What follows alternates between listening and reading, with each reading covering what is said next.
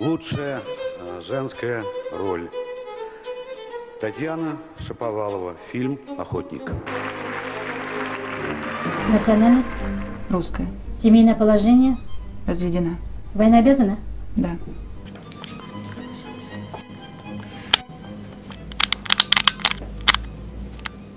Во время съемок мне казалось, что я остаюсь самой собой, и у меня нету каких-то таких вот ну, изменений.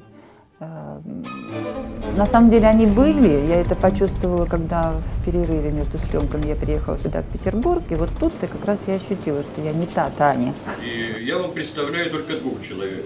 Это Татьяна Шаповалова в центре. Это аб- абс- абсолютно свободное место. И здесь все вот художники начинающие, молодые, там начинают э, там, делать свои выставки, проекты какие-то. И здесь практически э, единственное, наверное, место, где нет никак- никакой цензуры. Вообще. Борея, конечно, существует достаточно давно, и место намоленное, поэтому, конечно же, сюда приходит как бы, такая так называемая богема. А вы чу- чувствуете себя как причастны к этой проблеме? Конечно, я их кормлю. Ну, я, по-моему, ее в кино выбрали, исходя из этих соображений, потому что такая неординарная личность, в которой есть какая-то тайна, там какая-то судьба, какая-то глубина вроде бы переживаний. Да нет такого особенного ничего. Его нет.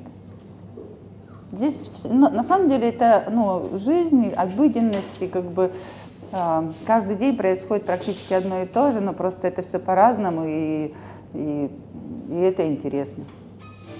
Разные люди каждый день приходят, разные выставки проходят, разные какие-то мероприятия.